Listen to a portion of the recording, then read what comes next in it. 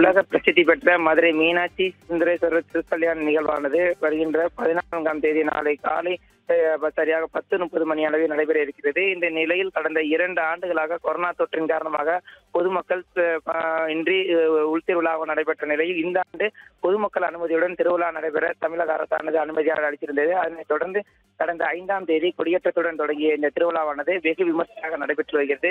இந்த நிலையில் இந்த இந்த சித்திரை திருவிழாவின் முக்கிய நிகழ்வாக இருக்கக்கூடிய இந்த திருக்கல்யாண நிகழ்வில் ஒவ்வொரு ஆண்டும் லட்சக்கணக்கான பக்தர்கள் பங்கேற்பது வழக்கம். ஆனால் இந்த ஆண்டு கொரோனா கட்டுப்பாடு காரணமாக ஒரு குறிப்பிட்ட குறிப்பிட்ட நபர்கள் மட்டுமே பங்கேற்க முடியும் என கோவில் கோவில் நிர்வாகம் பல்வேறு கட்டுப்பாடுகளை வெளியிட்டிருக்கிறது. அது குறிப்பாக ஆஹ், சிறப்பு கட்டணம் என முறையில் ஆன்லைன் மூலம் பதிவு செய்யப்பட்ட சுமார் ஐயாயிரத்தி எழுநூறு பேர் மட்டும் பதிவு செய்து அவர்களுக்கு மட்டும் சிறப்பு கட்டணம் மூலம் அனுமதிக்கிறது அதே போன்று ஆறாயிரம் பேர் இலவச தரிசனம் செய்வதற்கும் வழிகாட்டு நெறிமுறை வகுத்திருக்கிறது. குறிப்பாக மதுரை தெற்கு கோபுரம் வழியாக இலவசமாக தரிசனம் செய்யக்கூடிய பக்தர்கள் காலை ஏழு மணி அளவில் வர வேண்டும் எனவும் அதே போல் சிறப்பு கட்டணம் பெற்ற பக்தர்கள் வடக்கு கோபுரம் வழியாக சரியாக ஏழு மணிக்கு வந்து கோவில் வளாகத்திற்கு நுழைய வேண்டும் எனவும் கோ- மதுரை மாநகர காவல்துறை சார்பாக வழிகாட்டு நெறிமுறையை வெளியிட்டிருக்கிறது.